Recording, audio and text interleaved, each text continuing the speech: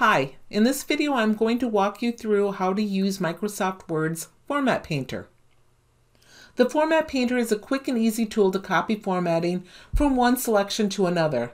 The Format Painter copies text formatting from the text you have selected and applies it to other text within your document.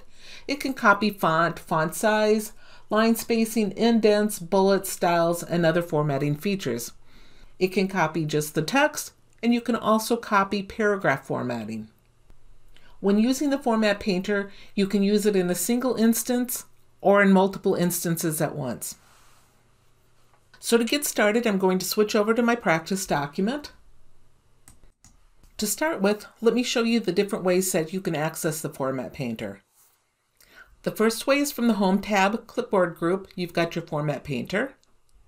Another way, if you use it a lot, is you can add it to your Quick Access toolbar. To do that, we're just going to right click on it and tell it to add to the Quick Access toolbar. When it does that, it adds the paintbrush up to your Quick Access toolbar. You can also right click within your document and access the Format Painter. And there are shortcut keys for it. Once you've selected the text that you want to take your formatting from, Control Shift C will copy the formatting and Control Shift V will paste it wherever you put your cursor. Now, if I'm going to be doing a lot of format painting within my document, and especially if my document has a lot of styles in it, what I like to do is turn on my paragraph markers and also my styles pane, just to make sure I'm staying consistent with my styles in my document. To turn on your paragraph markers, what you do is you come up to the Home tab, Paragraph Group, and you've got a toggle for that.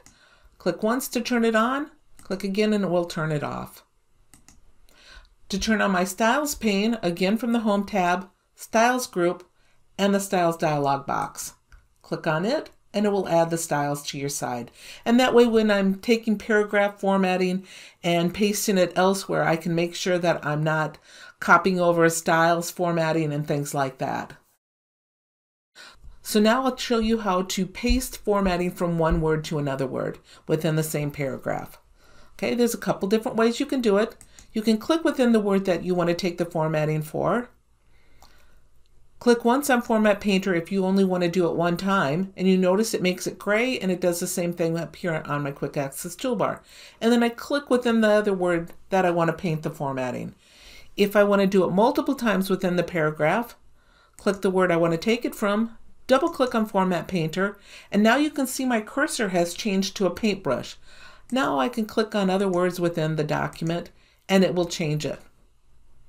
That's how you do it within the same paragraph.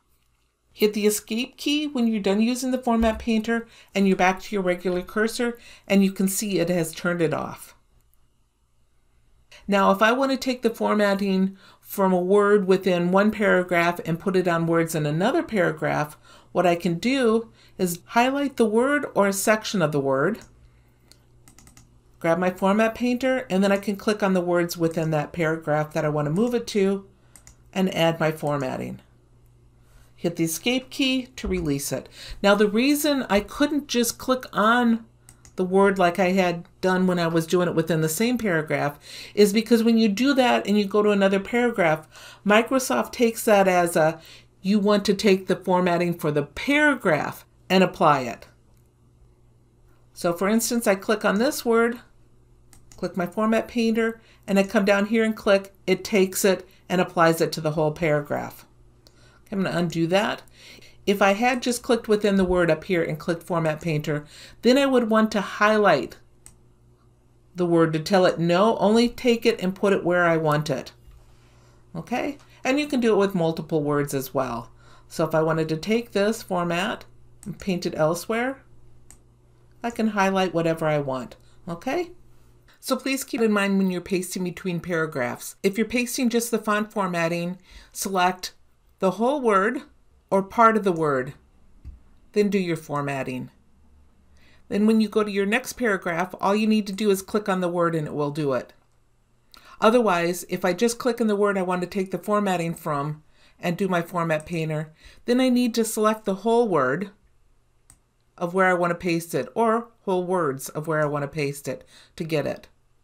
this becomes very important when you have documents with um, styles in them. If you are pasting from one paragraph to another and you inadvertently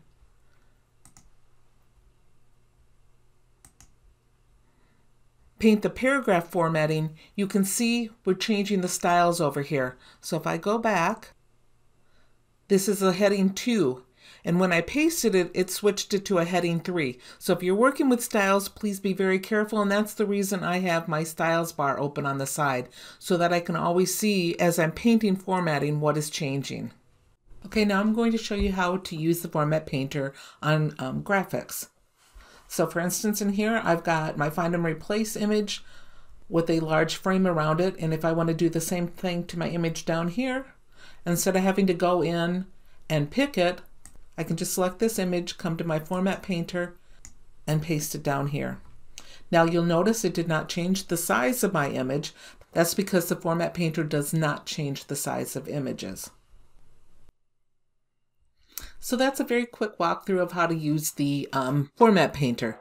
If you have any questions, please leave me comments below. Or if there's any other topics that you'd like me to go over, please let me know. Thank you.